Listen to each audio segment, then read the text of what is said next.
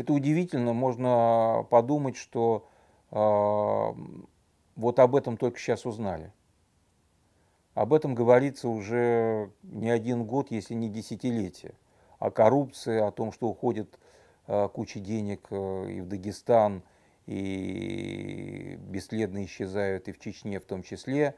Э, но до поры до времени об этом как бы никто не знает. А потом вдруг раз, и все узнают, что там замки построены, и там золотые ручки, не знаю, условно говорю, и так далее. Прилетают самолеты с ОМОНом и арестовывают э, человека. Ну, э, смешно.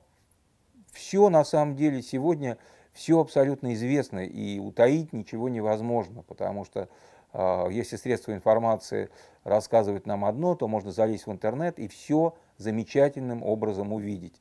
Увидеть город, увидеть э, дом, в котором живет мэр, дом, в котором живет губернатор, в люб, любого города, понимаете, все это можно, в, э, замок, в котором живет э, полпред, например, в Екатеринбурге, все это совершенно прозрачно и очевидно, понимаете, и смешно, когда вдруг прозревают и вдруг арестовывают там министра обороны, как будто раньше не знали, чем он занимается.